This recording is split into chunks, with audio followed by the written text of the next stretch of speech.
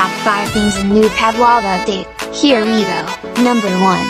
There is a new starter screen when you get into the game. Number 2. There is a new gun called the PKM. Number 3. You can now find friends or people you played with. Number 4.